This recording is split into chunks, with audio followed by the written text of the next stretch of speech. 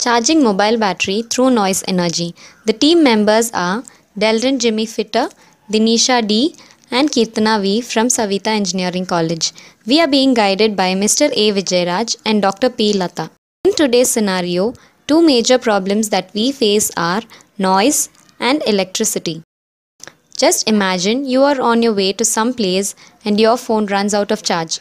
At that moment, when you're not able to plug into charge, you can charge the battery just by shouting at your phone or through the noise in the traffic. In this video, we have illustrated the project prototype with our own components since all the components sent by Texas Instruments had booting problem. Charging mobile through noise energy. This is a circuit in which the piezoelectric sensors are connected in series. As you can see, the positive and negative ends of each sensors are connected in series. Now, the positive end of the sensor is connected to a PN diode. The PN diode avoids reverse flow of current. Now we go to the second circuit.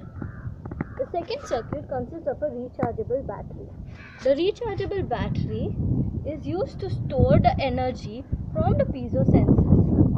And then this battery is connected to a circuit which is called the charger circuit. The charger circuit consists of a bridge rectifier which is used to convert AC voltage to DC voltage.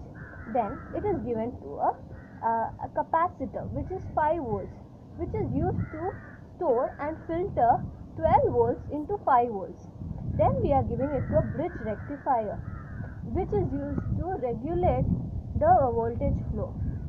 Then we are giving it to a capacitor which is consists of a 3 volts which filters and supplies only 3 volts of current which is needed to charge a battery. This is a switch in which we can switch on the charger circuit. This is a pin, charger pin, which we are going to give it to a tablet for it to charge. The property of piezoelectric sensor is to sense the sound surrounding the environment and it will convert this sound to electrical energy. Now you can see a series of piezoelectric transducers being connected and which is also connected to a rechargeable battery. This piezoelectric sensor will sense a sound of above 60 decibels and charge the uh, power inside this rechargeable battery. Now we are going to show that there is no power present in this rechargeable battery and now you can also see there is uh, no charging when we connect the charger pin to the tablet.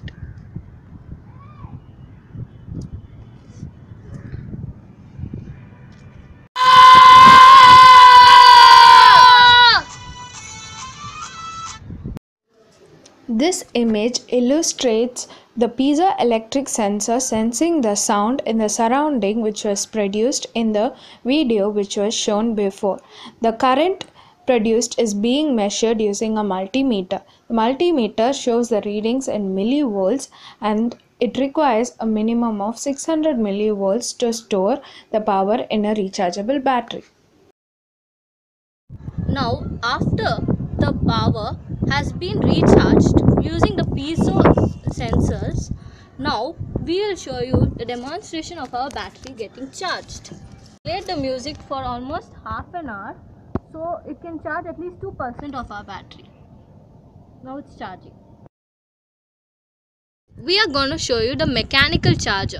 As you can see on pressing the piezoelectric sensors, you can we produce certain amount of energy.